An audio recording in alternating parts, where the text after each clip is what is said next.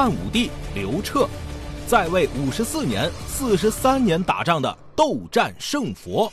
今天我们来聊一聊皇帝中的战斗机、斗战胜佛——汉武帝刘彻。每位明君的上位之路都不是一帆风顺的，刘彻也不例外。起初，他的父亲汉景帝刘启按照惯例封大儿子刘荣为太子，而小儿子刘彻被封为胶东王。眼看着刘荣离走上人生巅峰只有一步之遥，谁也没有想到，美好前程都被自己亲妈给扔火坑了。刘荣的亲妈丽姬是个出了名的小心眼儿，为人心胸狭隘，得罪了不少人，其中就包括太后窦氏和刘彻的母亲王氏。再加上他们在皇帝身边说丽姬和太子刘荣的坏话，贬低他们。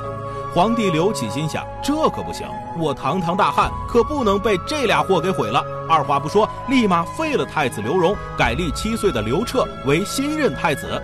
刘彻怎么也没想到，多亏了大哥的倒霉妈妈，自己才捡了大便宜。公元前一百四十一年，汉景帝驾崩，十六岁的刘彻继承了皇位，成为汉朝第七位皇帝。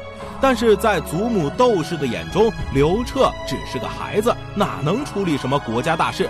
所以处处约束管制着宝贝孙子。在窦太后去世后，斗战胜佛刘彻才得以一展拳脚，放开性子，开始了自己的宏图霸业。刘彻在位五十四年，有四十三年都在打仗，谁挑事儿他就打谁。他最大的死对头就是北方猖狂的匈奴人。汉景帝的时候，匈奴隔三差五来侵犯汉朝的边界，但是汉景帝都选择了隐忍。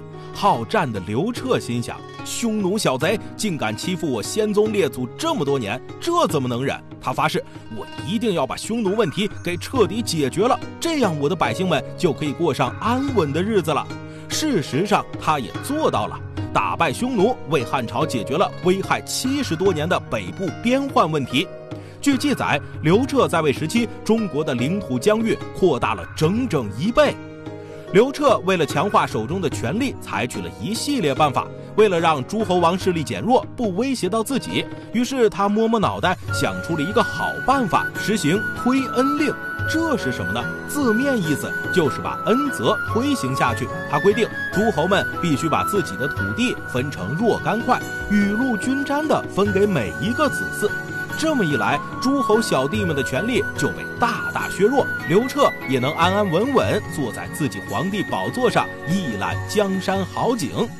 除此之外，他还大力推崇儒家学说，灌输臣民们仁义思想。君君臣臣，既然我是一国之君，为了天下大一统的终极目标，你们都得顺服于我。这么一来，汉代儒家文化在刘彻的推动下得到了发展，并成为了后世历代的主流思想。除此之外呢，为了选拔出更多的人才，他建立了察举制。